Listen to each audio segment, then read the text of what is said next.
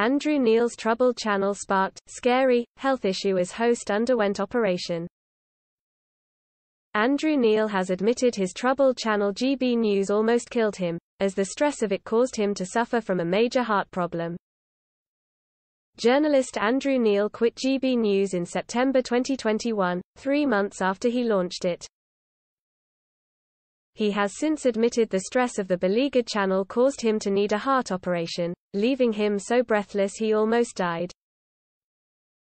Andrew, who had previously worked for the BBC for 25 years, stepped down amid his concerns about the way GB News was heading. The 73-year-old claimed he didn't want to be involved in the British version of Fox News. Fox deals in untruths, it deals in conspiracy theories and it deals in fake news, he said on Question Time. That's not my kind of journalism and I would never have set out to do that. In January, Andrew was holidaying in the south of France when he suddenly became very short of breath. It was a bit scary, he said. I was seriously running out of breath. There was something wrong. Andrew's heart was beating irregularly and he needed an urgent operation to fix it. They put you out, they shock your heart. It stops. Then they start it up again and the rhythm is back to regular, he explained to the Radio Times.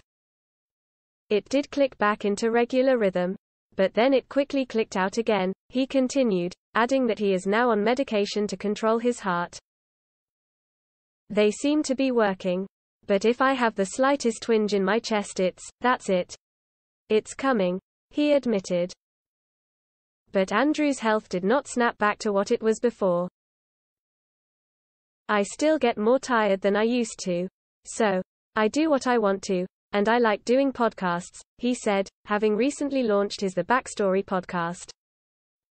The broadcaster blames his health woes on GB News' many issues from collapsing sets to plummeting viewership. It could have killed me, he said.